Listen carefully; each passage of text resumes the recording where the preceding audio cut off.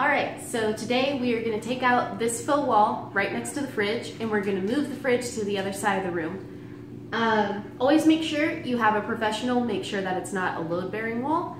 This is actually just a faux wall. It has no electrical, no piping, no load bearing whatsoever, according to a professional construction engineer we had over here a while back. So make sure that you do that so that the house doesn't come falling down on top of you. All right.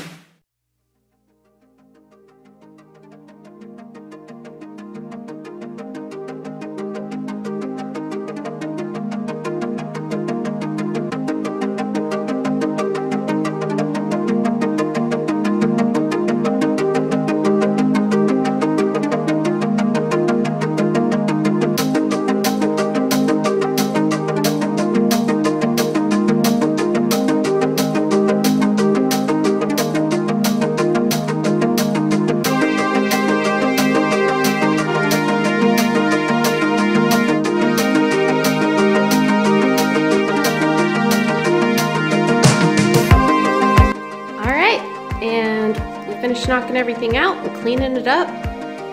This is what we're left with. We left that wood piece in the wall, and we're leaving this floor because we're changing the flooring. We're redoing the ceiling later on, and ultimately this whole big wall right here we're about to take out.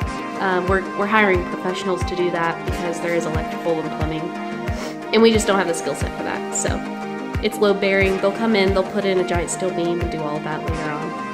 Right now we have some exposed electrical light right there. Again, make sure every time you press into the walls you're looking for that.